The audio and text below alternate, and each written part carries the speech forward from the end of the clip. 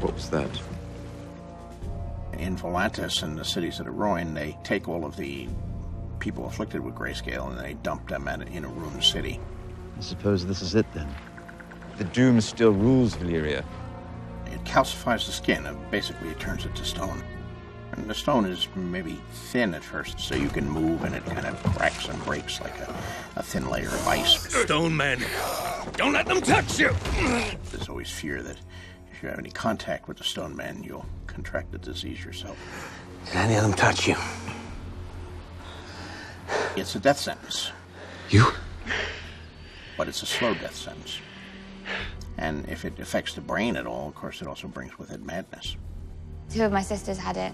They both died. We heard them, especially at night. They started to sound not like themselves.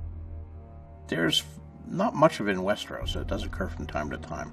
Everyone advised me to send you to the ruins of Valyria to live out your short life with the Stone Men before the sickness spread through the castle. And that's essentially their leper colony. A haunted place, uh, dark and mysterious with mists hanging over it. Stone men, as they're called, wandering through the fog until they die.